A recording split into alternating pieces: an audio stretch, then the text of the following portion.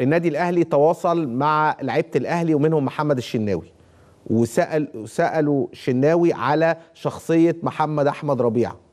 فالشناوي قال له شخصية هادية ومتزنة. وكان معايا والده امبارح على التليفون. والده قال إحنا عيلة أهلاوية كلنا. لعيب كويس. أو مشجع الأهلي. ولعيب سردباك أشول وبيعرف يبني هجمة وبتاع. فقولا واحدا محمد أحمد ربيعة لاعبا في النادي الأهلي في يناير. وهيخلصوا القصة كابتن محمود الخطيب مع المهندس فرج عامر ومفيش أي مشكلة.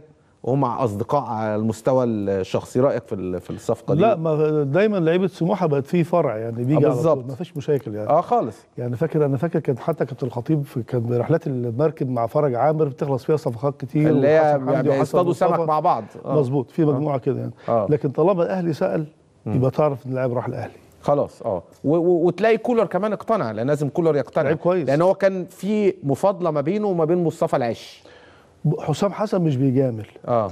وحسام حسن عامل طريقة كويسة يعني عم- بيعمل صف تاني ودي حقيقة. مم.